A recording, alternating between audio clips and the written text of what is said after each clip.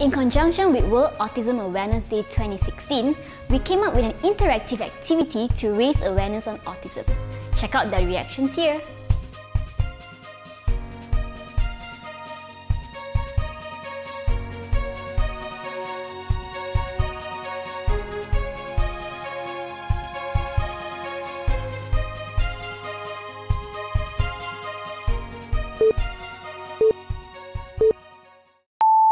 Dessiner une voiture bleue.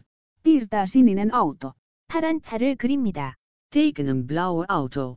Нарисуйте синий автомобиль. Desenhar um carro azul. Tein en blobil. Aoi kuruma o egakimasu.